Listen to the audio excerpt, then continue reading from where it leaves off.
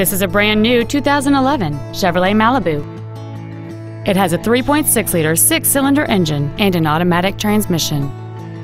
Its top features include a sunroof, heated seats, cruise control, a CD player, a leather wrapped steering wheel, chrome wheels, an illuminated driver's side vanity mirror, traction control and stability control systems, an auto dimming rearview mirror, and an anti theft protection system.